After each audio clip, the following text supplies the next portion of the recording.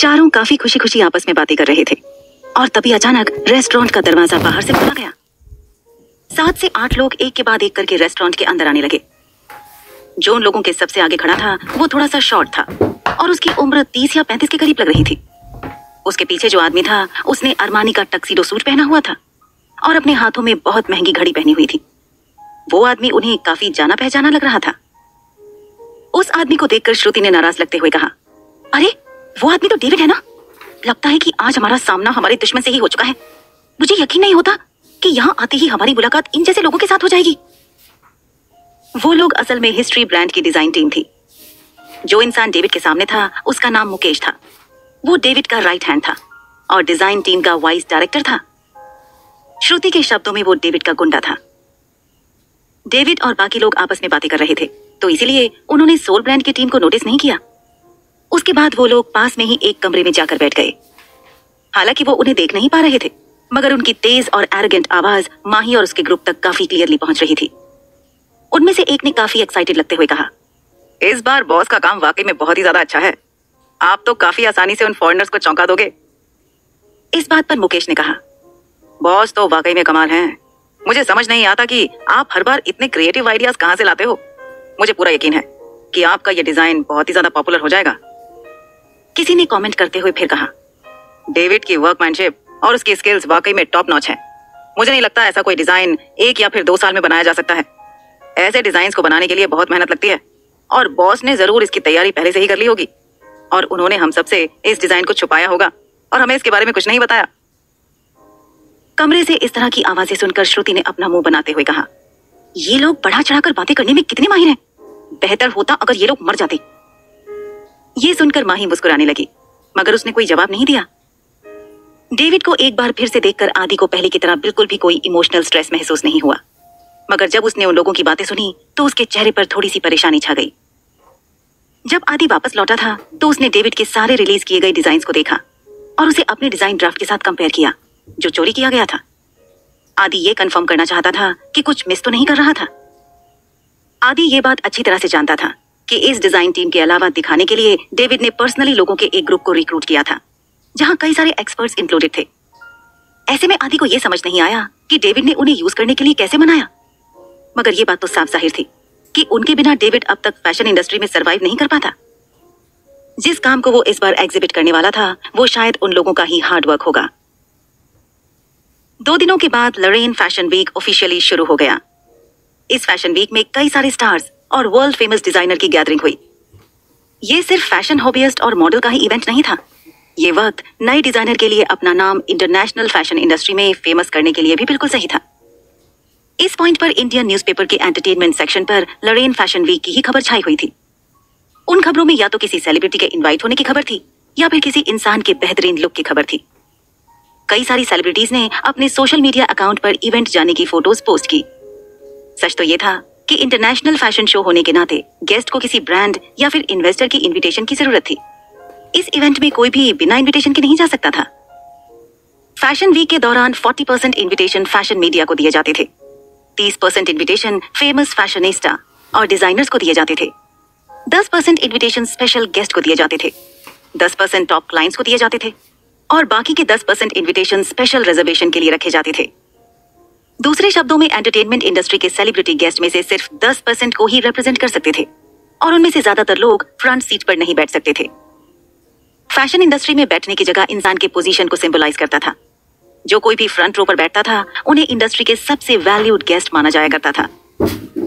जिन लोगों ने अपने सोशल मीडिया अकाउंट पर फ़ोटोज़ पोस्ट की और ऐसा दिखाया कि वो इनवाइटेड थे, सच तो ये था कि उनके पास उस इवेंट में एक सीट तक नहीं थी। उन्होंने अंदर जाने के लिए पैसे दिए और एंट्रेंस के पास घूमते हुए कुछ तस्वीरें खींचने लगे और उन लोगों को धोखा दिया जो रेगुलेशंस के साथ ज़्यादा फेमिलियर नहीं थे। इस इवेंट का ऑफिशियल वेन्यू लरेन पैलेस था।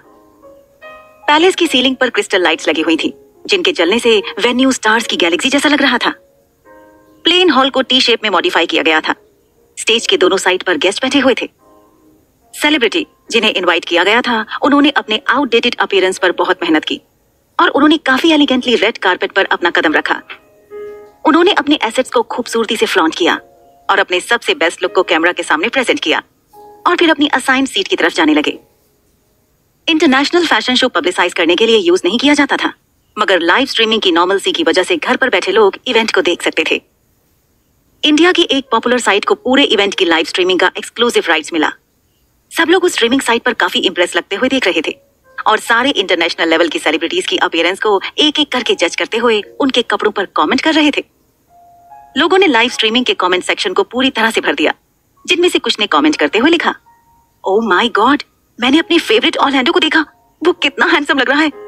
उसकी फ्लोरल शर्ट उस पर कितनी अच्छी लग रही है। अरे, उस लड़की ने क्या पहना हुआ है? ऐसा लग रहा है कि वो एक कंबल उड़कर चली आई है। वो सच में कितनी अजीब लग रही है। ये लोग तो थोड़ी सी अटेंशन पाने के लिए अपना सब कुछ दाव पर लगा रहे हैं। अरे, ये क्या? मुझे रागनी दिखाई दे रही है। उसने तो कुछ ही वक्त पहले एंटरटेनमेंट इंडस्ट्री को क्विट कर लिया था ना? वो यहाँ पर फ्रंट रो पर बैठी है। लगता है कि पूरे इंडिया में आज तक सिर्फ़ सोनिया को ही फ्रंट रो पर बैठने का हक मिला है।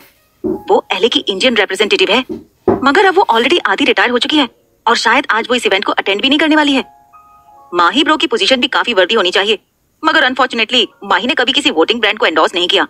ऐसा तो नहीं कि उसे इनवाइट ही नहीं किया गया है।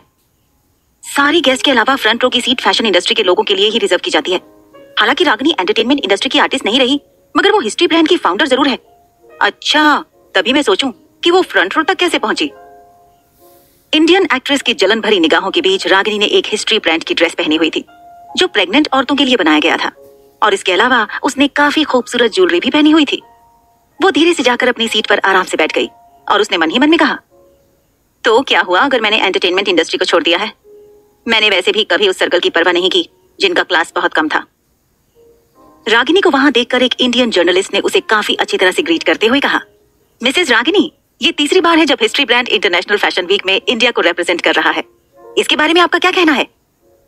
रागिनी ने काफ़ी प्यार से मुस्कुराते हुए उस जर्नलिस्ट से कहा, मुझे बहुत खुशी है कि हिस्ट्री ब्रांड को इतने बड़े मंच पर रिकॉग्नाइज किया जा रहा है।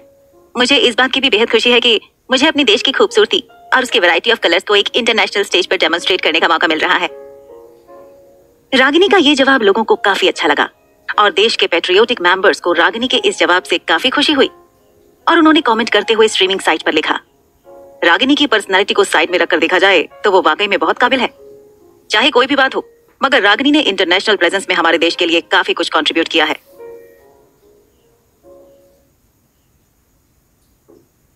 जज की असेसमेंट के बाद ही ब्रांड को ऑफिशियल इनविटेशन मिल सकता था।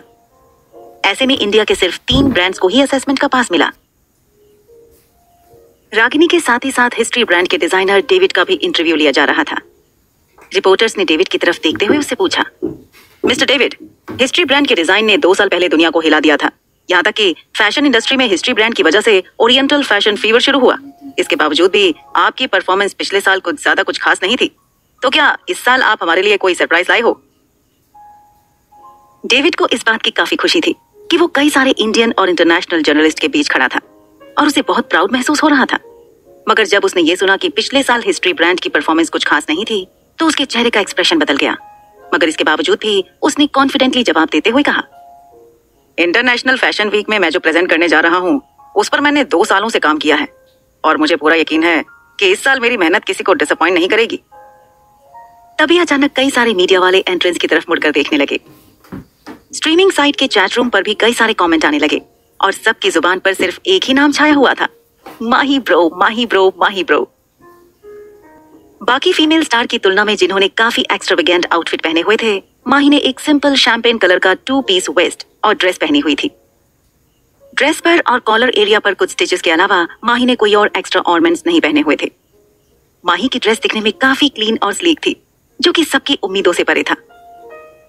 इंटरनेशनल फ़ैशन वीक के दौरान सारे मेहमान वहाँ पर शोज़ देखने जाते थे।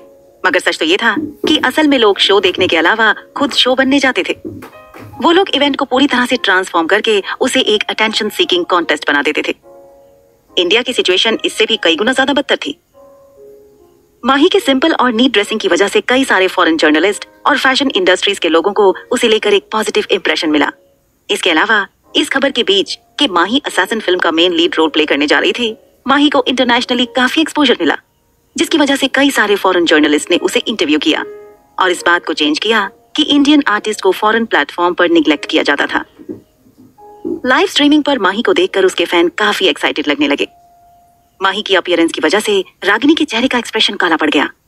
मगर जब उसने देखा कि माही पीछे वाले रो की तरफ़ चलकर जा रही थी तो रागिनी को काफ़ी तसल्ली मिली। रागिनी ने मुस्कुराकर मन ही मन में कहा, हालाँकि माही के पास कई सारी एंडोर्समेंट हैं, मगर उसने कभी किसी क्लोथिंग ब्रांड को एंडोर्स नहीं किया। ऐसे में मुझे पूरा यकीन है कि उसे किसी बड़े ब्रांड की इनविटेशन नहीं मिली होगी। और जिन लोगों को मैगजीन के थ्रू इनविटेशन मिलता है, उन्हें आमतौर पर बैक रो की सीट ही मिलती है। मुझे तो लगता है कि माही के पास अपनी कोई सीट ही नहीं होगी। इसके बारे में सोचते हुए रागिनी फ्रंट रो पर बैठकर मुस्कुराते हुए लास्ट रो की तरफ़ चलकर जा रही माही की तरफ़ देखने लगी। रागिनी को दिल से बहुत खुशी हो रही थी और उसने मन ही मन में कहा तो क्या हुआ अगर तुम इस वक्त एंटरटेनमेंट इंडस्ट्री के टॉप पर हो? इस जगह पर तुम्हारी कोई औकात नहीं है। रागिनी बेहद खुश लग रही थी और वो कई सारे इंडस्ट्री के एक्सपर्ट्स के साथ खुशी खुशी बातें कर रही थी। मगर अगले ही पल में जब उसने पीछे मुड़कर देखा तो वो पूरी तरह से दंग रह गई। रागिनी ने देखा कि लास्ट रो में बैठी सारिका शुक्ला से बात करने के बाद माही फ्रंट रो पर आकर एक खाली सीट पर बैठ गई। माही को फ़र्स्ट रो की सीट पर बैठते हुए देखकर रागिनी बिल्कुल भी खुश नहीं लग रही थी। मगर जल्द ही उसके चेहरे का एक्सप्रेशन बदल गया और उसने मन ही मन में कहा हाँ, जाने किसे पता कि यहाँ तक पहुँचने के लिए उस लड़की ने क्या कुछ किया होगा? वो तो इंडियन एंटरटेनमेंट इंडस्ट्री की सो कॉल टॉप स्टार है। आफ्टर ऑल उसे ऐसी चीज़ें करने की आदत पड़ चुकी होगी। ऑब्वियसली वो यहाँ बैठने के लिए अनक्वालिफाइड है। मगर फिर भी वो अपनी गंदी हरकतों की वजह से यहाँ पहुँच गई।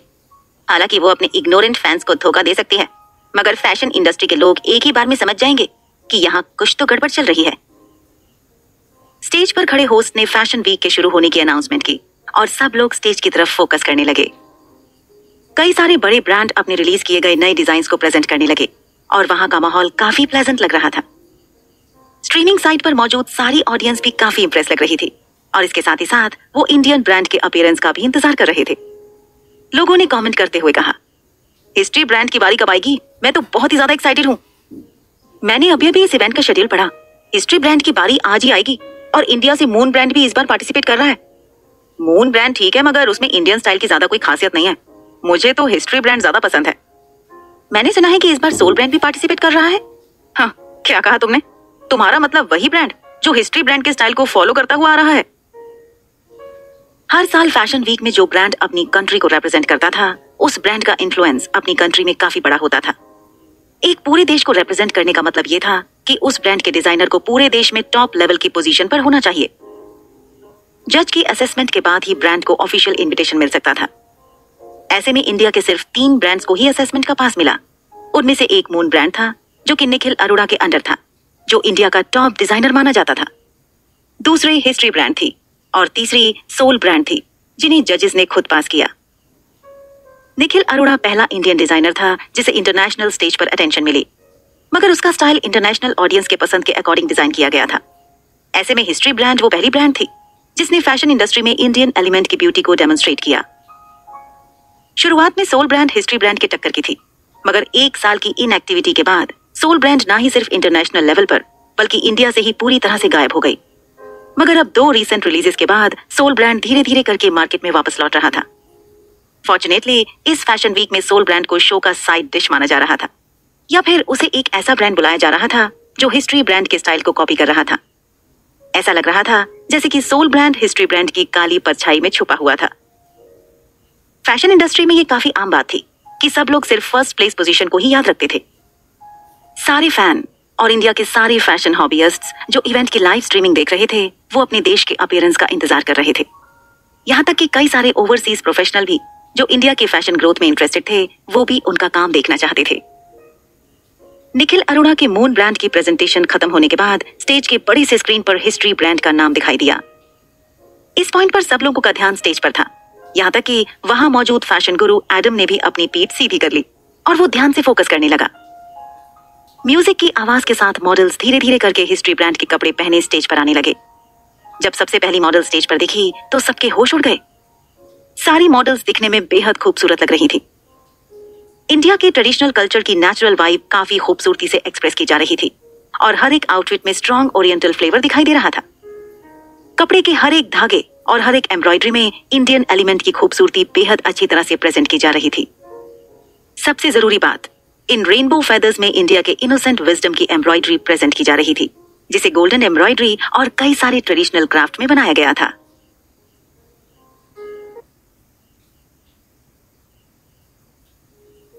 हिस्ट्री ब्रांड के डिज़ाइन को देखकर लोगों ने कमेंट करते हुए कहा ओ माई गॉड ये तो बेहद खूबसूरत है। It is really mind blowing क्या यही इंडिया की लेजेंडरी क्राफ्ट्समैनशिप है? अगर मैं ध्यान से देख रही हूँ तो इन्होंने गोल्डन धागे की एम्ब्रॉयडरी की है, जो काफ़ी पहले राजा महाराजाओं के जमाने में हुआ करता था। आज के जमाने में ऐसा कुछ करना काफ़ी कॉम्प्लिकेटेड माना जाता है। कुछ मीटर्स के कपड़े को तैयार करने में ही कई महीने लग जाते हैं। ये कितना यूनिक है! इंडियन कल्चर वाकई में काफ़ी मैजिकल है। जो लोग फ़ैशन को थोड़ा बहुत समझते थे, यहाँ तक कि वो डिज़ाइन में जो इंडियन स्टाइल के थोड़े बहुत खिलाफ थे, वो इस पल में हिस्ट्री ब्रांड के रेनबो फेदर्स की क्लोथिंग और डिज़ाइन को देखकर दंग रह गए। और उनकी नज़रें मॉडल से हटी नहीं पा रही थी। इस पल में लाइव स्ट्रीमिंग के साइट पर जो इंडियन फैंस थे, वो काफ़ी इमोशनल महसूस कर रहे थे और उन्हें बहुत गर्व महसूस हो रहा था। लोगों ने कमेंट करते हुए कहा oh my god history brand के डिज़ाइन बेहद खूबसूरत हैं। हमारा इंडियन कल्चर तो वाकई में काफ़ी स्टनिंग है। ये तो वाकई में बेहद खूबसूरत है। हिस्ट्री ब्रांड ने हमें बिल्कुल भी निराश नहीं किया। उनके डिज़ाइन को देखकर तो मेरे शरीर में रोंगटे खड़े हो गए। ये तो इंडिया का बेहद पुराना ट्रेडिशनल कल्चर है।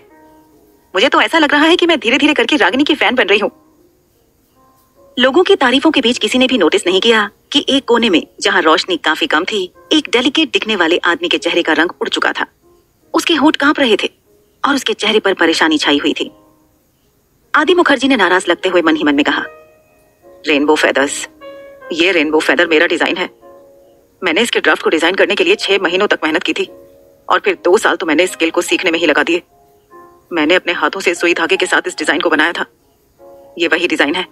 जिसके बारे में डेविड ने मुझसे झूठ कहा था कि सैंपल रूम में आग लगने की वजह से मेरे सारे ड्राफ्ट पूरी तरह से डिस्ट्रॉय हो गए। मगर अब ये design Lauren international fashion week में मेरी आँखों के सामने दिखाई दे रहा है। मुझे इस बात की बिल्कुल भी खुशी नहीं हो रही है कि मैंने जो खोया था, वो इस वक्त मेरी आँखों के सामने है, बल्कि मेरे अंदर गुस्सा और नफरत छाई हुई है। मेरा दिल इस वक्त बुरी तरह से दुख रहा है। रेनबो फेदर्स मेरा डिज़ाइन है, जिसे किसी और ने धोखे से मुझसे छीन लिया था। आदि मुखर्जी की आँखों में गुस्सा दिखाई दे रहा था। गुस्से में उसकी सर की नसें फट रही थी और उसकी साँसें फूल रही थी। उसका मासूम चेहरा गुस्से में लाल पड़ चुका था और उसके सर पर खून सवार हो चुका था। उसे देखकर ऐसा लग रहा था जैसे कि वो अभी इसी वक्त डेविड की जान ले लेगा। जैसे ही हिस्ट्री ब्रांड के डिज़ाइन स्टेज पर अपियर होने लगे, सामने वाली फ्रंट सीट पर बैठी माही को घबराहट महसूस होने लगी। और उसका सबसे पहला रिएक्शन ये था कि वो आदि मुखर्जी के रिएक्शन को ऑब्ज़र्व करे।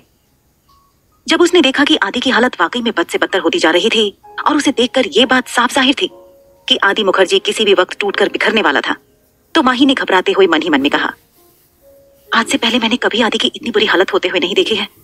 हे भगवान, आदि को इस तरह देखकर तो मुझे बहुत डर लग रहा है। लगता है कि डेविड जिस काम को लेकर सबसे ये बोल रहा था कि वो दो साल से मेहनत करता हुआ आ रहा है, वो असल में आदि की अपनी डिज़ाइन है। इनफैक्ट, इस वक्त बात सिर्फ़ इस डिज़ाइन की नहीं है, बल्कि इस सो कॉल प्रोडक्ट को शायद खुद आदि ने अपने हाथ से पर्सनली बनाया होगा। मुझे अब याद आ रहा है कि आदि ने कई बार मुझसे कहा था कि उसका सबसे परफेक्ट डिज़ाइन किसी आग में बर्बाद हो गया था। आदि ने मुझे उसका नाम भी बताया था, जो कि रेनबो फेदर था। कहीं ये डिज़ाइन वही तो नहीं है? हिस्ट्री ब्रांड के डिज़ाइनर ने एक बार फिर अपने डिज़ाइन से पूरी दुनिया के होश उड़ा दिए। सारे जर्नलिस्ट डेविड का इंटरव्यू लेने दौड़कर उसके पास गए। एक फॉरेन जर्नलिस्ट ने डेविड से पूछा director David this time your work is truly stunning I wonder where your inspiration for this design came from David ने मुस्कुराकर काफ़ी प्राउडली जवाब देते हुए कहा obviously my inspiration comes from India five thousand year old culture वहाँ मौजूद एक इंडियन जर्नलिस्ट काफ़ी इमोशनल लग रहा था, और उसने डेविड से पूछा डायरेक्टर डेविड आपने तो सच में कमाल कर दिया है। क्या आप हमें बता सकते हो कि इन कपड़ों में आपने किस एशियन डिज़ाइन को यूज़ किया है? हमने सुना है ये डिज़ाइन आपने खुद अपने हाथों से बनाया है। क्या ये बात सच है? डेविड ने हामी भरते हुए अपना सिर हिलाया, और उसने जवाब देते हुए कहा, जी, ये बात बिल्कुल सच है। मैंने इस ड्रेस की एम्ब्रॉयडरी में गोल्डन धागे का इस्तेमाल किया है और बाकी टेक्निक्स का इस्तेमाल किया है। मैंने अपने डिज़ाइन का ड्राफ्ट पूरी तरह से अपने हाथों से बनाया है, मगर इसकी प्रोडक्शन को मेरी टीम ने पूरा किया है। इस कलेक्शन में हम सबका इक्वल कंट्रीब्यूशन रहा है। डेविड की कही ये बात सुनकर जर्नलिस्ट ने उसे कॉम्प्लीमेंट करते हुए कहा डायरेक्टर डेविड आप वाकई में दिल के बहुत अच्छे हो। सब लोग ये बात अच्छी तरह से जानते हैं कि डिज़ाइन ही कपड़ों की आत्मा होती है।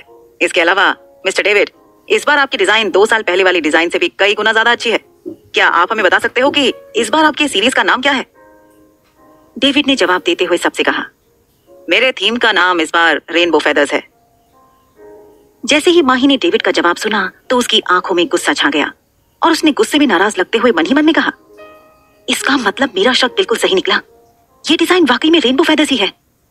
ये आदमी सच में बहुत ही ज़्यादा गिरा हुआ है। इसके अंदर इतनी भी शर्म नहीं थी कि उसने इस डिज़ाइन का नाम तक नहीं बदला। तभी मैं सोचूं कि हिस्ट्री ब्रांड के डिज़ाइन को देखकर आदि का रिएक्शन इतना बुरा क्यों था? माही आदि को ध्यान से देखने लगी, जो कोने में बैठे डिम लाइट के नीचे गुस्से में लाल हो रहा था।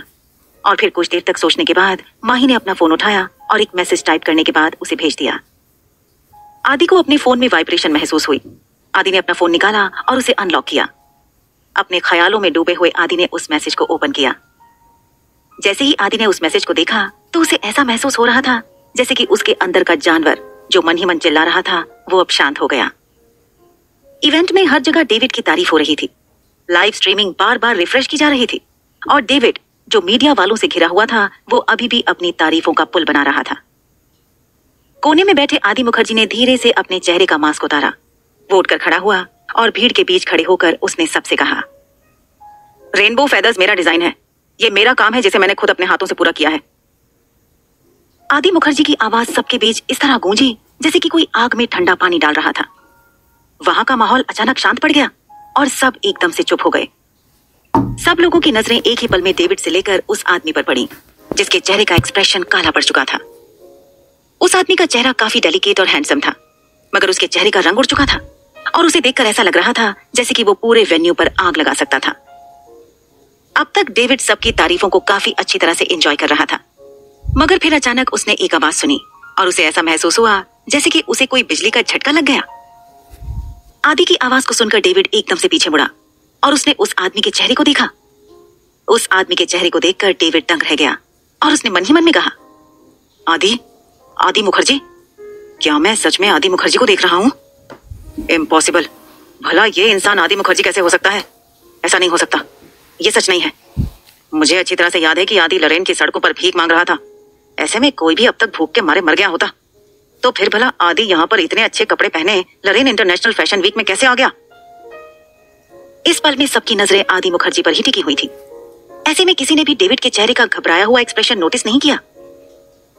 वहाँ मौजूद सारे मीडिया वाले और मेहमान कंफ्यूजन के मारे एक दूसरे की तरफ़ देखने लगे। और कुछ ही देर बाद फाइनली वो लोग अपने होश में वापस लौटे। उनमें से एक जर्नलिस्ट ने आदि मुखर्जी से पूछा एक्सक्यूज मी सर आप कौन है?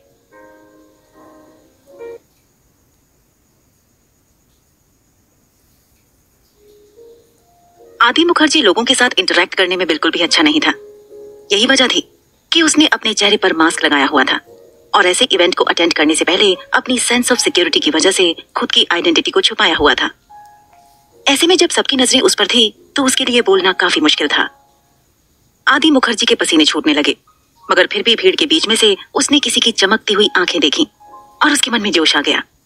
आदि मुखर्जी ने जवाब देते हुए सबसे कहा मैं सोल ब्रांड का चीफ डिज़ाइनर मिस्टर एम हूँ। मेरा नाम आदि मुखर्जी है। जैसे ही आदि ने अपनी बात पूरी की तो भीड़ में मौजूद सारे लोग हैरानी के मारे आपस में डिस्कस करने लगे। अरे, ये आदमी तो सोल ब्रांड का चीफ डिज़ाइनर। अरे हाँ ये तो सोल ब्रांड का वही लेजेंडरी डिज़ाइनर है, जिसने कभी किसी को अपना चेहरा नहीं दिखाया, मिस्टर एम। मगर इस डिज़ाइनर ने सबसे पहले क्या कहा था? ये आदमी ये कहने की कोशिश कर रहा है कि रेनबो फेदर्स असल में उसकी डिज़ाइन है, और इस डिज़ाइन को उसने खुद अपने हाथों से पूरा किया था। भला, इस बात पर कौन यकीन करेगा? आखिर हिस्ट्री ब्रांड के डिज़ाइन को कोई सोल ब्रांड का डिज़ाइनर पूरा क्यों करेगा? डेविड हैरानी के मारे आदि मुखर्जी की तरफ़ देख रहा था, जिसे वो पूरे दो साल के बाद देख रहा था। आदि को देखकर ऐसा बिल्कुल नहीं लग रहा था कि वो सड़कों पर दर बदर भटक रहा था, बल्कि आदि काफ़ी अच्छी तरह से ड्रेसअप होकर आया था। यहाँ तक कि लोगों के सामने उसकी जो घबराहट थी, वो भी गायब हो चुकी थी। और यही वजह थी कि डेविड उसे पहली बार में ही पहचान नहीं पाया था। डेविड को सबसे बड़ा शौक इस बात से लगा कि आदि मुखर्जी दरअसल सोल ब्रांड का चीफ डिज़ाइनर था। अब जाकर डेविड को पता चला कि जो इंसान इतने वक्त से डेविड के खिलाफ काम कर रहा था, वो असल में आदि मुखर्जी ही था। इसके बारे में सोचते हुए डेविड ने मन ही मन में कहा, तभी मैं सोचूं? तभी मैं सोचूं कि सोल ब्रांड के डिज़ाइन आदि मुखर्जी के डिज़ाइन स्टाइल से इतनी मिलती जुलती क्यों लगती थी? सच तो ये था कि सोल ब्रांड का डिज़ाइनर खुद आदि ही था। ये आदमी तो सच में बहुत लकी निकला। डेविड की आँखों में गुस्सा छाया हुआ था। उसके चेहरे पर कुछ देर पहले जो पैनिक और डर दिखाई दे रहा था वो अब धीरे धीरे करके एरगेंस और गुस्से में बदल गया। और उसने मन ही मन में कहा हम्म, आदि मुखर्जी हम दोनों पिछले दो साल से एक दूसरे से नहीं मिले। मगर इसके बावजूद भी मैं ये बात दावे के साथ कह सकता हूँ कि तुम अब भी पहले जितने ही बेवकूफ़ हो। तुम्हें क्या लगा कि सोल ब्रांड के सपोर्ट से तुम मुझे हरा सकते हो? हम्म, तुम्हें क्या लगा कि अगर तुमने सबके सामने ये कह दिया कि रेनबो फेदर्स तुम्हारा डिज़ाइन है तो सब लोग तुम्हारी बात मान लेंगे सब कुछ वैसा ही हो रहा था, जैसे कि डेविड ने सोचा था। ना सिर्फ़ लोगों ने अजीब नज़रों के साथ आदि मुखर्जी की तरफ़ देखा, यहाँ तक कि लाइव स्ट्रीमिंग के चैनल पर जो इंडियन फैंस थे, वो भी काफ़ी बुरी तरह से आदि को नीचा दिखाने लगे। और उन्होंने कमेंट करते हुए कहा, अरे, आखिर ये आदमी अचानक कहाँ से चला आया? मुझे तो लगता है कि ऐसी हरकतें करके वो फ़ेमस बनना चाहता है। इन्हें क्या लगा कि हम ये बात नहीं जानते कि सोल ब्रांड काफ़ी वक्त से हिस्ट्री ब्रांड के स्टाइल को कॉपी करता हुआ आ रहा है? और अब सोल ब्रांड के डिज़ाइनर ने यह तक कह दिया कि रेनबो फेदर हिस्ट्री ब्रांड का नहीं बल्कि उसके खुद का डिज़ाइन है।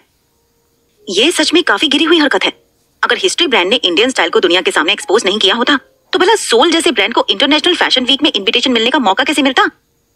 सोल ब्रांड ने तो इंटरनेशनल स्टेज पर इंडिया की बेजती कर ली। मैं तो चाहती हूँ कि ये लोग जल्द से जल्द फ़ैशन वीक से निकल जाएँ। हमें इनकी वजह से और बेजती नहीं सहनी। ऑनलाइन कमेंट में से कुछ रेशनल लोगों ने अपना शक बयां किया और उन्होंने कमेंट करते हुए लिखा। मुझे तो लगता है कि इसके पीछे कोई गहरा राज है। अगर सोल ब्रांड के डिज़ाइनर के अंदर थोड़ा सा भी कॉमन सेंस होता तो वो इस तरह के इवेंट में इतनी बड़ी बात बिना किसी सबूत से बिल्कुल नहीं कहते। दरअसल सोल ब्रांड के कपड़े वाकई में बहुत अच्छे हैं। इस बार उन्हें किसी तरह लरेन इंटरनेशनल फ़ैशन वीक का इन्विटेशन मिल गया, जिसका मतलब यह है कि सोल ब्रांड को इंटरनेशनली रिकॉग्नाइज किया जा रहा है। ऐसे में उन्हें ये सब करने की कोई ज़रूरत नहीं थी, है ना? हालाँकि कुछ लोग सोल ब्रांड को सपोर्ट कर रहे थे, मगर जल्द ही हिस्ट्री ब्रांड के सपोर्टर ने उन लोगों को शांत कर दिया और कमेंट करते हुए लिखा। तुम लोगों को क्या लगता है? कि एक नकलची बंदर डिज़ाइनर के अंदर कॉमन सेंस नाम की कोई चीज़ हो सकती है। यह इंसान तो खुद ही इतना बेवकूफ़ है, और उसे लगता है कि हम भी उसी की तरह बेवकूफ़ हैं। इसने तो एक पूरे साल तक कुछ भी डिज़ाइन नहीं किया, और इसके अलावा हाल ही में इस ब्रांड का हर एक डिज़ाइन सिर्फ़ हिस्ट्री ब्रांड की स्टाइल की कॉपी ही है। यहाँ तक कि जब उन्हें गोल्डन अवार्ड मिला था, उसमें भी उन्होंने हिस्ट्री ब्रांड की कॉपी ही की थी। एक बार नकलची बंदर को सक्सेस मिल जाती है तो वो छोटी मोटी जीत के साथ खुश नहीं होते। और यही वजह है कि आज उसने सबके सामने ये तक कह दिया कि हिस्ट्री ब्रांड ने उसके काम को चुराया है। मुझे तो यकीन नहीं होता कि लोग इतनी गिरी हुई हरकत भी कर सकते हैं। ऑनलाइन स्ट्रीमिंग साइट के साथ ही साथ वेन्यू में भी लोगों के बीच डिस्कशन हो रही थी। लोग अजीब नज़रों के साथ आदि मुखर्जी की तरफ़ देख रहे थे। वहाँ मौजूद एक रिपोर्टर ने पूछा, मिस्टर मुखर्जी, कुछ देर पहले आपने कहा कि रेनबो फेदर्स आपके डिज़ाइन है। आपकी इस बात का मतलब क्या है? आदि मुखर्जी ने जवाब देते हुए इस रिपोर्टर से कहा, मेरी इस बात का मतलब वही है जो मैंने कहा। रेनबो फेदर मेरी डिज़ाइन है। डेविड ने मेरा काम चुराया था। उसने ना ही सिर्फ़ रेनबो फेदर्स के डिज़ाइन को चुराया, बल्कि स्प्रिंग गार्डन के थीम को भी मुझसे चुराया था। आदि मुखर्जी के इस बात से वहाँ मौजूद सारे जर्नलिस्ट काफ़ी कंफ्यूज लगने लगे, और उनमें से एक ने कहा, ये आप क्या बोल रहे हो? लोगों को यकीन नहीं हो रहा था कि आदि मुखर्जी ने सबके सामने ये कहा कि दो साल पहले जिस डिज़ाइन के साथ डेविड ने इंटरनेशनल फ़ैशन इंडस्ट्री को हिलाकर रख दिया, वो असल में आदि मुखर्जी की ही डिज़ाइन थी। आदि मुखर्जी ने एक एक करके दस थीम के नाम बोल दिए, जिसे हिस्ट्री ब्रांड ने रिलीज़ किया था। और फाइनली उसने सबसे कहा lotus flower breaks the surface jungle late autumn वगैरह वगैरह जैसे कई सारे डिज़ाइन के ड्राफ्ट डेविड ने मुझसे चोरी किए थे. वहीं कोने में खड़े जब डेविड ने आदि मुखर्जी के ये शब्द सुने तो वो ज़ोर ज़ोर से हंसने लगा। डेविड ने मन ही मन में कहा आदि के चेहरे पर अफसोस दिखाई दे रहा है। उसे देखकर ऐसा लग रहा है कि मरने से पहले वो एक आखिरी कोशिश करना चाहता है। हम्म, अब मैं ये बात अच्छी तरह से समझ गया कि मुझे इस बेवकूफ़ इंसान से डरने की कोई ज़रूरत नहीं है। मुझे तो कुछ करने की ज़रूरत ही नहीं पड़ी। और इस इंसान ने खुद को ही मौत के मुँह में धक्का दे दिया। आज सोल ब्रांड के डिज़ाइनर आदि मुखर्जी ने सबके सामने जो कुछ भी कहा, वो सबके लिए काफ़ी शॉकिंग था। उसने सबसे ये कहा कि ओरिएंटल स्टाइल का लीडिंग फिगर वही डिज़ाइन जिसे खुद फ़ैशन गुरु ने काफ़ी प्रेस किया था, जिसकी वजह से डेविड को एक जीनियस डिज़ाइनर बुलाया गया था। वो दरअसल डेविड ने आदि से चुराया था। जर्नलिस्ट ने अपना सवाल कंटिन्यू करते हुए आदि मुखर्जी से पूछा अगर आप जो कुछ भी कह रहे हो, वो सच है। तो फिर आपने इसके बारे में हमें पहले क्यों नहीं बताया? और क्या आपके पास कोई सबूत है कि डेविड ने आपसे आपके डिज़ाइन ड्राफ्ट को चुराया था? आदि ने जवाब देते हुए जर्नलिस्ट से कहा, जी नहीं। आदि का यह जवाब सुनकर वहाँ मौजूद सारे लोगों की बोलती बंद हो गई, और स्ट्रीमिंग साइट पर भी लोग आदि मुखर्जी को कोसने लगे और उसे क्रिटिसाइज करने लगे। ओ माय गॉड ये आदमी तो सच में बहुत बड़ा बेवकूफ़ है। इसे क्या लगा कि अगर ये सबसे कह देगा कि डेविड ने इसका काम चुराया है तो हम इसकी बात मान लेंगे? और क्योंकि इसने कहा कि वो डिज़ाइन इसकी थी तो क्या वो सारी डिज़ाइन सच में उसी की हो जाएगी? अगर मैं कहूँ कि तुम्हारा बॉयफ्रेंड मेरा है तो क्या वो वाकई में मेरा बॉयफ्रेंड बन जाएगा? सिर्फ़ अपनी जलन की वजह से उसे डेविड के ऊपर इतना बड़ा इल्ज़ाम नहीं लगाना चाहिए था। मुझे तो यकीन नहीं होता कि ये छोटा सा सोल ब्रांड सेलेक्ट कैसे हुआ। ये लोग तो सच में बहुत गिरे हुए हैं।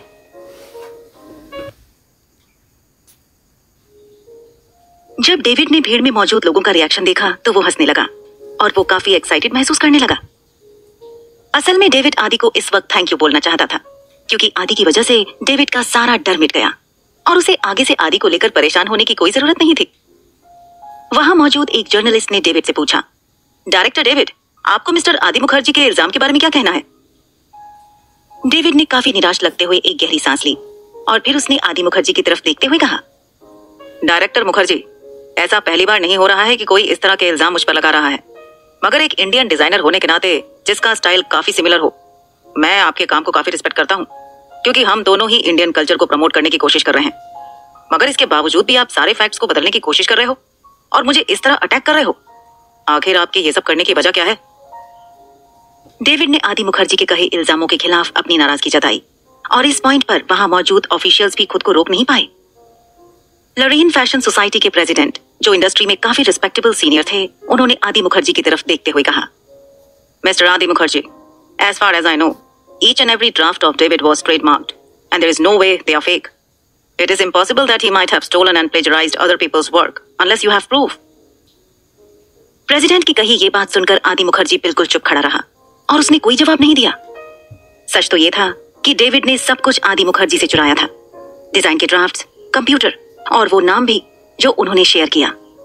आफ्टर ऑल डेविड ही वो इंसान था, जो ट्रेड मार्किंग पर काम किया करता था। ऐसे में अगर आदि उन ड्राफ्ट को रीड्रॉ करता तब भी उन पर डेविड का ट्रेडमार्क था तो सबको यही लगता है कि आदि ने डेविड के डिज़ाइन की चोरी की थी प्रेसिडेंट के चेहरे का एक्सप्रेशन बदतर हो गया जब उसने देखा कि आदि बिल्कुल चुप खड़ा था तो उसने आदि की तरफ़ देखते हुए कहा I understand you might be unhappy with History always being above you और you could be angry that people are criticising you of plagiarising History's design However, you are accusing another person of a serious offense under such circumstances.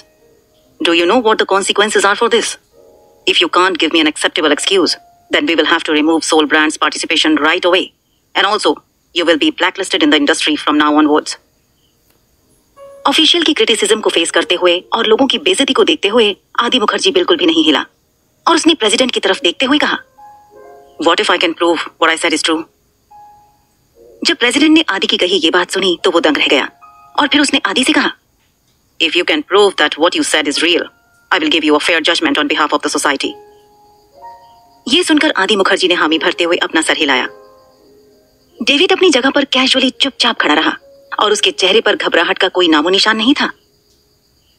David rainbow feathers के impression और design staff के पीछे के creation process के बारे में सब कुछ जानता था।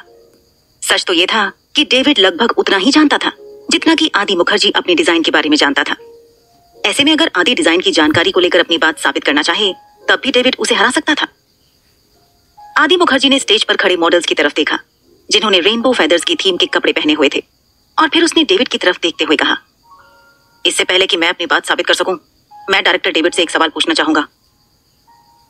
आदि की कही ये बात सुनकर डेविड ने काफ़ी कॉन्फिडेंटली हामी भरते हुए कहा हाँ ज़रूर पूछो तुम्हें क्या पूछना है? आदि मुखर्जी ने काफ़ी खड़ूस अंदाज के साथ डेविड से पूछा इन छह कपड़ों में बहुत सारे ट्रेडिशनल इंडियन टेक्निक्स का इस्तेमाल किया गया है। इसकी एम्ब्रॉयडरी इन कपड़ों की खासियत है। मैंने सुना है कि इन कपड़ों की एम्ब्रॉयडरी आपने खुद अपने हाथों से की है। क्या ये बात सच है? आदि मुखर्जी का यह सवाल सुनकर डेविड उसकी तरफ़ घूर कर देखने लगा और उसने मन ही मन में कहा लगता है कि यह लड़का मेरे लिए अपना जाल बिछा रहा है, मगर मैं इसके जाल में फंसने वाला नहीं हूँ। डेविड ने हामी भरते हुए कहा हाँ ये बात बिल्कुल सच है। इस तरह की एम्ब्रॉयडरी करना काफ़ी मुश्किल है। और यही वजह थी कि मैंने इसे खुद अपने हाथों से बनाया था। अगर तुम्हें मेरी बात पर यकीन नहीं है तो मैं इस बात को साबित कर सकता हूँ। डेविड ने मुस्कुराकर मन ही मन में कहा, आदि, क्या तुम्हें सच में लगता है कि बिना किसी चलाकी के मैं इस इंडस्ट्री में इतने लंबे समय तक टिक पाता? जब लोगों ने आदि मुखर्जी का सवाल सुना तो इंडस्ट्री के कुछ लोग आपस में डिस्कशन करने लगे और उन्होंने कहा, क्या आदि मुखर्जी को यह लग रहा है कि डेविड ने इन कपड़ों को खुद क्रिएट नहीं किया? मुझे तो लगता है कि आदि इस जंग में हारने वाला है।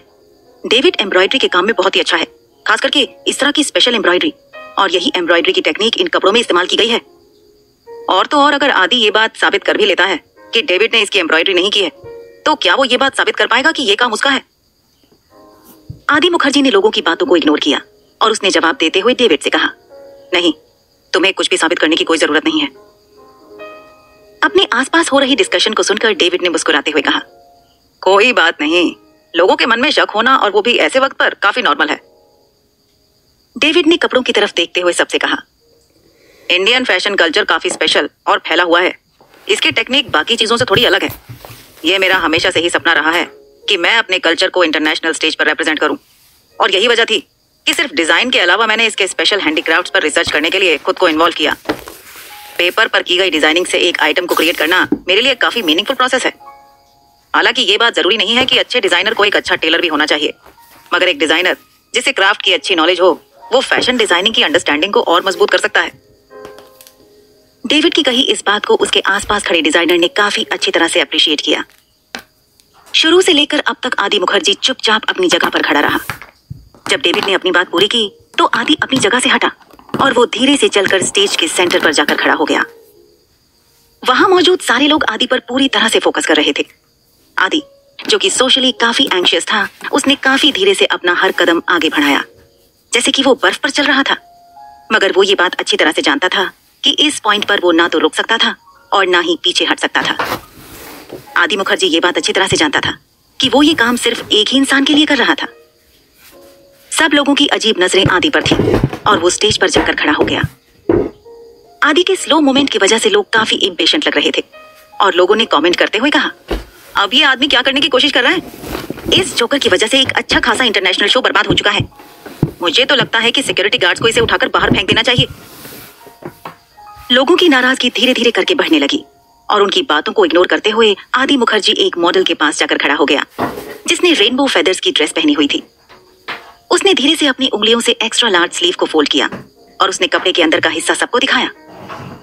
अगले ही पल में आदि मुखर्जी ने गुस्से में डेविड की तरफ़ घूर कर देखते हुए उससे पूछा तो फिर ये मेरा दूसरा सवाल है। क्या तुम मुझे बता सकते हो कि अगर ये डिज़ाइन तुम्हारी है तो तुमने अपने काम पर मेरे नाम की एम्ब्रॉयडरी क्यों की है? आदि का ये सवाल सुनकर डेविड के चेहरे का एक्सप्रेशन बदल गया और उसने पूछा, क्या? ये तुम क्या बोल रहे हो? एक हाई डेफिनेशन कैमरा ने जूम इन किया और बड़े से स्क्रीन पर उस एक्स्ट्रा लार्ज स्लीव के अंदर वाला हिस्सा दिखाई दिया। वहाँ कुछ शब्द साफ़ साफ़ हिंदी में लिखे हुए थे। आदि मुखर्जी।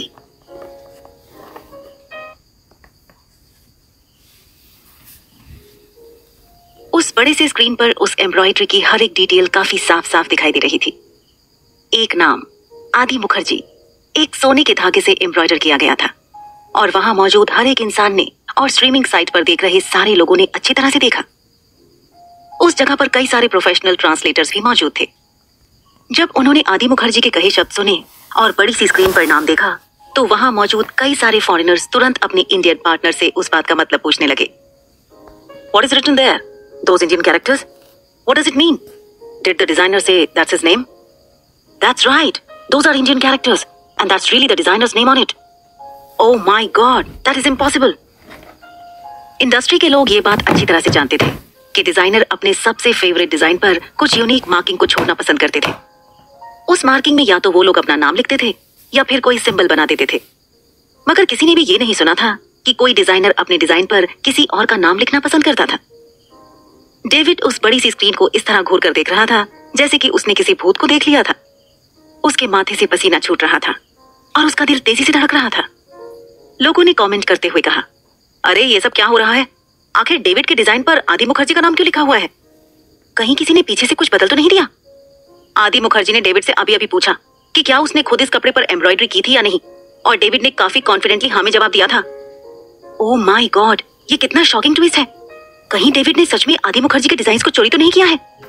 अगर ऐसी बात है तो मुझे डेविड के बाकी सारे डिज़ाइन पर भी शक हो रहा है। जब डेविड ने अपने आसपास खड़े लोगों की डिस्कशन को सुना तो उसके होश उड़ गए और वो अनकॉन्शियसली एक डायरेक्शन में देखने लगा। उसने मन ही मन में कहा, हे भगवान, रागनी मैडम के चेहरे का एक्सप्रेशन भी बहुत बुरा लग रहा है। डेमिट अब मैं क्या करूँ? ये सब कैसे हो गया? आदि मुखर्जी तो सिर्फ़ एक बेवकूफ़ इंसान है, जिसे खुद का ही कोई होश नहीं था। भला उसने उन दिनों इस कपड़े पर अपने नाम की एम्ब्रॉयडरी करने के बारे में कैसे सोचा होगा? कई बार चेक करने के बाद भी मैंने इस बात को नोटिस कैसे नहीं किया। उस आदि ने मेरे लिए एक जाल बिछाया और मेरे मुँह से ये तक बुलवा दिया कि मैंने खुद इन कपड़ों की एम्ब्रॉयडरी की है। भला अब मैं इस बात को कैसे बदल सकता हूँ? उफ, इसके बारे में सोचकर भी मेरा सर फटा जा रहा है। इस पॉइंट पर लरेन फ़ैशन सोसाइटी के प्रेसिडेंट स्टेज पर गए और उन्होंने खुद स्लीव्स के अंदर वाला हिस्सा देखा। बड़े ध्यान से इंस्पेक्शन करने के बाद उन्होंने देखा कि सारे के सारे छह कपड़ों पर स्लीव्स के अंदर वाले हिस्से पर आदि मुखर्जी का नाम इस तरह लिखा गया था, जो काफ़ी मुश्किल से नोटिसेबल था। ये देखकर भीड़ में मौजूद सारे लोग दंग रह गए, तक कि लाइव स्ट्रीमिंग पर जुड़े हुए सारे लोग भी काफ़ी शौक लग रहे थे, और किसी को भी समझ नहीं आ रहा था कि वहाँ क्या हो रहा था। लोगों को यकीन नहीं हो रहा था कि डेविड के डिज़ाइन किए गए हर एक कपड़ों पर आदि मुखर्जी का नाम था। स्टेज पर खड़े प्रेसिडेंट ने सारे कपड़ों को चेक करने के बाद डेविड की तरफ़ देखते हुए उससे पूछा director David can you provide us with an explanation अपना नाम सुनकर डेविड अपने होश में वापस लौटा। उसने खुद को काम डाउन करने की कोशिश की और एक सरप्राइज़ एक्सप्रेशन के साथ उसने गुस्से में कहा how could it be this is just not possible why would I embroider the name of another design on my work I didn't do this David का जवाब सुनकर प्रेसिडेंट के चेहरे का एक्सप्रेशन काला पड़ गया और उसने डेविड से पूछा but earlier you have admitted yourself that you completed all the clothing embroidery on your own what does this mean now David के चेहरे का एक्सप्रेशन बिल्कुल नहीं बदला और उसने जवाब देते हुए प्रेसिडेंट से कहा indeed that is true and that is so but I really do not know why these words Adi Mukherjee would appear in my work David इस बात को अंत तक झुटलाए जा रहा था और भीड़ में मौजूद लोग भी एक पल में कुछ डिसाइड नहीं कर पा रहे थे और उन्होंने कमेंट करते हुए कहा, कहीं ऐसा तो नहीं कि किसी ने चुपके से इन कपड़ों के साथ छेड़खानी की हो? मुझे लगता है ऐसा हो सकता है। ऐसा ही हुआ होगा। नहीं तो मुझे इसके पीछे कोई सेंस दिखाई नहीं दे रहा। क्योंकि आदि मुखर्जी फ़ैशन इंडस्ट्री में अनजान था तो इसीलिए उसकी तुलना में सब लोग सबकॉन्शियसली डेविड पर भरोसा कर रहे थे। डेविड के रेपुटेशन की वजह से सब लोग नेचुरली ये सोचने लगे कि शायद किसी ने चुपके से कपड़ों के साथ छेड़खानी की होगी। जब प्रेसिडेंट ने भी सबकी बातें सुनी तो वो भी सोच में डूब गया। और फिर उसने कहा Indeed, we can't rule out the possibility that these letters might have been embroidered on afterwards without your knowledge. जब डेविड ने प्रेसिडेंट की ये बात सुनी और सब लोगों की डिस्कशन सुनी जो कि उसके एक्सपेक्टेशन जैसा ही था तो उसने एक चैन की सांस ली मगर इससे पहले कि डेविड इस बात से खुश हो पाता उसने देखा कि आदि मुखर्जी जो कि प्रेसिडेंट के पास खड़ा था उसने काफ़ी डिटरमिन लगते हुए कहा दिस इज़ इम्पॉसिबल आदि मुखर्जी की ये बात सुनकर अचानक सब लोगों की नज़रें उस पर पड़ी और प्रेसिडेंट ने परेशान लगते हुए आदि से पूछा वाई इज़ दैट इम्पॉसिबल क्योंकि कुछ देर पहले आदि मुखर्जी ने कहानी में एक बड़ा ट्विस्ट दिखाया। तो इसीलिए इस बार किसी ने भी उसे बेइज्जत नहीं किया, बल्कि सब लोग अब अपनी साँसें थामकर आदि मुखर्जी के जवाब का इंतज़ार करने लगे। आदि मुखर्जी ने एक ड्रेस की स्लीव्स को ऊपर फोल्ड किया और उसने जवाब देते हुए प्रेसिडेंट से कहा because for this part of embroidery I use the technique of double sided three fold embroidery Adi Mukherjee की कही ये बात सुनकर लोग सोच में पड़ गए, क्योंकि किसी को भी इस बात की कोई जानकारी नहीं थी। कि double sided three fold embroidery क्या चीज़ थी? जब लोगों ने इस अजीब सी टेक्निक के बारे में सुना तो लोग आपस में दोबारा डिस्कस करने लगे। अरे, अब ये double sided three fold embroidery क्या चीज़ है? मुझे नहीं पता। मैंने तो इसके बारे में पहले कभी नहीं सुना। मैंने डबल साइडेड एम्ब्रॉयडरी के बारे में तो सुना है। वो एक काफ़ी मुश्किल एम्ब्रॉयडरी की टेक्निक है। सिंगल साइडेड एम्ब्रॉयडरी में सिर्फ़ फ्रंट पार्ट डेलिकेट लगता है, मगर पीछे का हिस्सा पूरी तरह से निग्लेक्ट किया जा सकता है। मगर डबल साइडेड एम्ब्रॉयडरी में आगे और पीछे दोनों साइड्स एक जैसा नीट और इक्वल तरह से डिस्ट्रीब्यूटेड लगना चाहिए। वहाँ मौजूद इंडियन लोग भी आदि मुखर्जी की कही बात को समझ नहीं पाए। ऐसे में जब इंडस्ट्री के इंडियन लोग ही इसके बारे में थोड़ा बहुत समझ पाए तो फॉरेनर्स का इस बात का मतलब समझना तो काफ़ी दूर की बात थी। यही वजह थी कि वहाँ मौजूद हर एक इंसान काफ़ी हैरान लग रहा था। ठीक उसी वक्त व्हाइट कलर का सूट पहने एक मिडिल एजेड आदमी उठकर स्टेज की तरफ़ चलकर गया। जब लोगों ने देखा कि वो आदमी कौन था तो भीड़ में मौजूद लोगों ने तुरंत एक्साइटेडली चिल्लाते हुए कहा, अरे, ये तो निखिल अरोड़ा है! हाँ बिल्कुल। अब निखिल अरोड़ा ही बता पाएँगे कि ये क्या चीज़ है।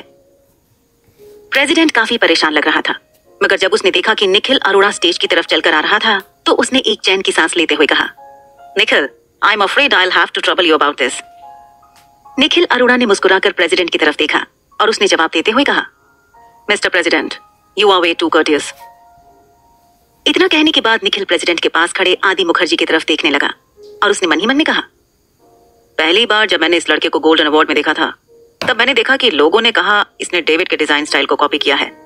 मगर अंत में अपनी काबिलियत की वजह से फुल स्कोर के साथ इसने गोल्डन अवार्ड जीता था। मगर मैंने कभी इस बात की उम्मीद नहीं की कि आज मैं फिर से इस तरह की सिचुएशन में इस आदमी से मिलूँगा। आदि मुखर्जी ने काफ़ी काम अंदाज के साथ निखिल अरोड़ा की तरफ़ देखा। सबकी क्यूरियस और नर्वस नज़रों को फेस करते हुए निखिल अरोड़ा ने आदि मुखर्जी से अपनी नज़रें हटाई और कपड़े की स्लीव्स के हर एक पार्ट को क्लोजली इंस्पेक्ट करने लगा। जहाँ पर आदि मुखर्जी का नाम एम्ब्रॉयडर किया गया था। वक्त गुजरता रहा, और फिर फाइनली निखिल अरुणा ने उस कपड़े की स्लीव से अपना हाथ हटाया।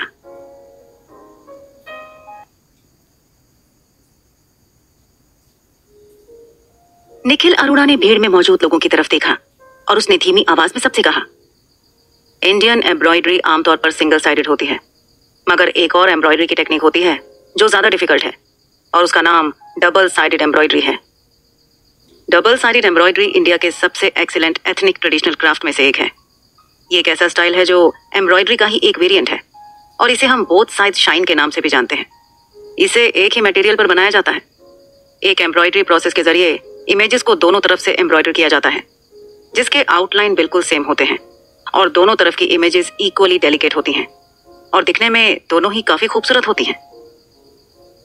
निखिल अरोड़ा की बात सुनकर किसी ने काफ़ी इम्पेशेंट लगते हुए पूछा मिस्टर निखिल तो फिर double sided three fold embroidery जिसके बारे में मिस्टर आदि मुखर्जी ने हमें बताया, वो क्या चीज़ है? निखिल अरोड़ा ने अपनी बात कंटिन्यू करते हुए सबको समझाया। डबल साइडेड एम्ब्रॉयडरी एक ऐसा अनजान स्टाइल है, जिसे हम double sided multi colour embroidery बुलाते हैं। जैसा कि टेक्निक का नाम है, इसका मतलब दोनों तरफ़ से एक ही जैसी एम्ब्रॉयडरी दिखती है, मगर उनके रंग अलग होते हैं। अपनी ये बात कहने के बाद निखिल अरोड़ा कुछ देर के लिए रुक गया, और उसने थोड़ा और इमोशनल लगते हुए कहा बहुत कम लोग ये बात जानते हैं कि एक और डिफ़िकल्ट एम्ब्रॉयडरी की टेक्निक होती है। और ये वही टेक्निक है, जिसके बारे में डिज़ाइनर आदि मुखर्जी ने हमें बताया था। और वो double sided three fold embroidery है। Double sided three fold embroidery double sided multi colour technique के फाउंडेशन पर इन्वेंट किया गया था। इस एम्ब्रॉयडरी के प्रोडक्ट वैसे अलग अलग होते हैं। इसकी नीडल वर्क अलग होती है। और ये दोनों तरफ़ से अलग रंग के होते हैं। इस तरह से दोनों तरफ़ से अलग चीज़ें दिखती हैं। अलग नीडल वर्क दिखती है और अलग रंग दिखते हैं। अलग डिज़ाइन, अलग नीडल अलग कलर्स इसीलिए इसका नाम double sided three fold embroidery है। पास में खड़ी प्रेसिडेंट ने अपने ट्रांसलेटर से निखिल अरोड़ा की कही बात का मतलब समझा और उसने काफ़ी हैरान लगते हुए कहा इज़ दैट सो भीड़ में मौजूद लोगों ने भी काफ़ी हैरान लगते हुए कमेंट किया, ये कितना मैजिकल है? मुझे तो यकीन नहीं होता कि ऐसी भी कोई एम्ब्रॉयडरी की टेक्निक होती है, जहाँ एक साथ दोनों तरफ़ से अलग पैटर्न और अलग कलर दिखाई दे सकते हैं। वहाँ मौजूद हर एक इंसान इस इंप्रेसिव इंडियन ट्रेडिशनल टेक्निक के बारे में सोच रहा था, जिसके बारे में निखिल अरोड़ा ने अभी एक्सप्लेन किया। इस पॉइंट पर निखिल अरोड़ा ने अपनी बात पूरी करते हुए सबसे कहा, मैंने इस काम को ध्यान से देखा है। जो कैरेक्टर डिज़ाइन इन छह कपड़ों के सेट पर यूज़ किया गया है, वो वाकई में double sided three fold embroidery का ही मेथड है। इसका मतलब यह है कि इस पार्ट की एम्ब्रॉयडरी एक ही वक्त में पूरी की गई थी। और ऐसा बिल्कुल भी पॉसिबल नहीं है कि इसे बाद में कोई एड ऑन कर सकता था या फिर छेड़खानी करके बदल सकता था। जैसे ही निखिल अरोड़ा ने अपनी ये बात पूरी की तो वहाँ मौजूद हर एक इंसान अपने होश में वापस लौट आया। सबके चेहरे पर एक ऐसा एक्सप्रेशन छाया हुआ था, जैसे कि उन्हें किसी चीज़ का एहसास हो गया। लोगों ने कमेंट करते हुए आपस में कहा, इसका मतलब यह है कि एम्ब्रॉयडरी को एक ही बार में बनाया जा सकता था, और इसके साथ छेड़खानी करने की कोई पॉसिबिलिटी ही नहीं थी। इसका मतलब यह भी है कि शायद डेविड झूठ बोल रहा था। कोने में खड़े डेविड के चेहरे का एक्सप्रेशन तभी बदल चुका था जब आदि मुखर्जी ने double sided three fold embroidery के बारे में सबको बताया। इसके बाद जब डेविड ने निखिल अरोड़ा के कहे शब्द सुने तो वो पूरी तरह से अपनी जगह पर जम गया। वो अपने चेहरे पर काम एक्सप्रेशन को और मेंटेन नहीं कर पाया। उसका शरीर पसीने से लथपथ हो गया और उसके माथे पर जो पसीना था, वो ज़मीन पर टपकने लगा। इस तरह के माहौल में डेविड अपने इमेज के बारे में बिल्कुल भी सोच नहीं पाया। उसने अपनी स्लीव्स को ऊपर रोल किया और अपने माथे से टपक रहे पसीने को पहुँच लिया। फिर डेविड ने कांपती हुई आवाज़ में सबसे कहा दरअसल, सच तो यह है कि इन कपड़ों में मैंने आदि मुखर्जी के नाम की एम्ब्रॉयडरी अपने हाथों से की थी। मैं डिज़ाइनर आदि मुखर्जी के डिज़ाइन को बहुत पसंद करता हूँ। तो इसीलिए खुद को मोटिवेट करने के लिए मैंने अपने डिज़ाइन पर उनके नाम की एम्ब्रॉयडरी कर ली थी।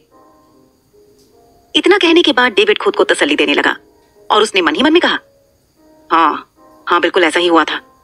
तो क्या हुआ अगर मेरे डिज़ाइन पर आदि मुखर्जी का नाम लिखा हुआ है? मेरे डिज़ाइन पर जिसका नाम हो, उसकी चॉइस सिर्फ़ मेरी होनी चाहिए। जब निखिल अरोड़ा ने डेविड की कही ये बात सुनी तो वो हंसने लगा। और उसने डेविड से कहा double sided three fold embroidery embroidery की दुनिया का सबसे हाईएस्ट लेवल का स्किल है। यहाँ तक कि बड़े बड़े दिग्गज भी इस तरह की स्किल को परफेक्शन के साथ निभा नहीं पाते हैं। मगर डायरेक्टर डेविड, आप हम सबके सामने ये कह रहे हो कि ये double sided three fold embroidery आपने की है। तो क्या आप हमें अभी इसी वक्त इस बात का सबूत दे सकते हो? निखिल अरोड़ा ने डेविड से इस बात का सबूत इसीलिए मांगा, क्योंकि कुछ ही देर पहले डेविड ने खुद आदि मुखर्जी से कहा था कि वो ये बात साबित करने के लिए तैयार था। कि वो एम्ब्रॉयडरी खुद उसने अपने हाथों से बनाई थी। जैसे ही निखिल अरोड़ा ने अपना सवाल पूरा किया तो डेविड खुद को और रोक नहीं पाया और उसके चेहरे पर उसकी हार साफ़ दिखाई दे रही थी। वो अब ज़्यादा देर तक सीधे खड़ा नहीं हो पाया और वो हार कर अपने घुटनों के बल बैठ गया। इस पॉइंट पर इंडियन फैंस, जो कि कुछ देर पहले हिस्ट्री ब्रांड को डिफेंड कर रहे थे और आदि मुखर्जी की बेजती कर रहे थे, उन सब की बोलती बंद हो गई। लोगों को यकीन नहीं हो रहा था कि फ़ैशन इंडस्ट्री के लोग इतने बुरे खेल खेल सकते थे। लोगों ने हैरानी के बारे कमेंट करते हुए कहा, क्या ये सब क्या हो रहा है? इसका मतलब ये है कि ये डिज़ाइन डेविड की नहीं है, बल्कि ये आदि मुखर्जी की डिज़ाइन है? ओ माय गॉड इसका मतलब तो ये हुआ कि डेविड शुरुआत से ये झूठ बोलता हुआ आ रहा है। उसने वाकई में सोल ब्रांड के डिज़ाइन की चोरी की है। और इसका मतलब ये भी हुआ कि उसके सारे फ़ेमस डिज़ाइन असल में आदि मुखर्जी के डिज़ाइन है। मगर ये सब कैसे हुआ? मुझे तो अपनी आँखों पर विश्वास नहीं हो रहा है। लोगों के हैरानी भरे कमेंट के बीच कुछ लोग ऐसे भी थे जिन्होंने हार नहीं मानी। और उन्होंने हिस्ट्री ब्रांड को डिफेंड करते हुए कहा। अगर ये बात साबित भी हो गई है कि ये डिज़ाइन डेविड ने खुद नहीं बनाया तो इससे ये साबित नहीं होता कि बाकी सारे डिज़ाइन भी डेविड के नहीं थे। मगर इस तरह के कमेंट्स को कई सारे लोगों ने बैकलैश करते हुए कहा। कुछ लोग बाकी लोगों को बेवकूफ़ बुला रहे हैं, मगर मुझे लगता है कि वही लोग असल में बेवकूफ़ हैं। बात अब इस हद तक पहुँच चुकी है, मगर इसके बावजूद भी कुछ लोग डेविड के एक्शन को जस्टिफाई करने की कोशिश कर रहे हैं।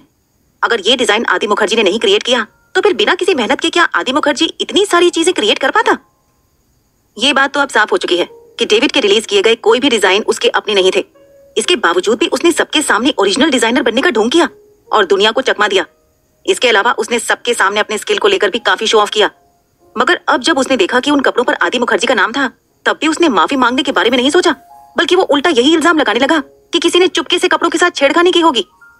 और जब double sided three fold embroidery technique के नाम से उसका झूठ पकड़ा गया तो उसके अंदर इतनी शर्म नहीं थी कि वो अपना किया कबूल कर लेता। बल्कि उसने बड़ी बेशर्मी के साथ सबको ये बताया कि उसने जानबूझकर इन कपड़ों पर आदि मुखर्जी के नाम की एम्ब्रॉयडरी की, ताकि वो खुद को मोटिवेट कर सके।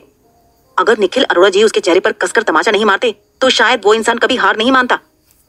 एक ब्रांड के चीफ डिज़ाइनर होने के नाते और इंटरनेशनल ओरिएंटल स्टाइल का सो कॉल लीडिंग फिगर होने के नाते डेविड के शब्द और उसके एक्शन काफ़ी इनकंसिस्टेंट हैं।